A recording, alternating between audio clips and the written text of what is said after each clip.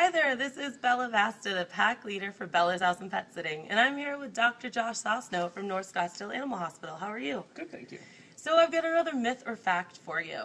Um, I've heard that cats have a better sense of smell than dogs. Is that true? I think it's probably more myth than fact at this point. Um, in fact, I think it's fair to say that um, of all the senses, the sense of sound and sight are probably more important to a cat than the sense of smell. Interesting. Very interesting. And uh, we were talking earlier something about bloodhounds. Right, in fact, the only domesticated animal, in fact, the only dog that actually can be used to admit evidence into a court of law is the bloodhound. So if we're talking about nasal sensitivities, I think you'd have to look to dogs perhaps a little bit more than cats. But as far as cats are concerned, their sense of smell is incredibly important with respect to getting them interested in food.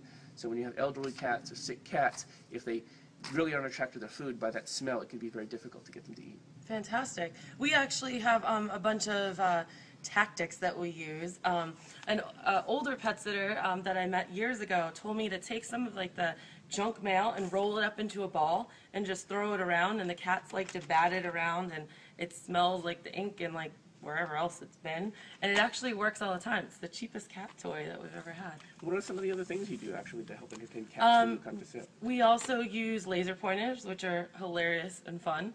Um, the typical whips, um, we like to brush them a lot too, because a lot of times they get really sad that mom and dad are gone, and um, you can tell they just get so happy when they're able to get brushed. So, That's fantastic. yep So this is another episode of Bella Vasta and Dr. Josh Sosnow.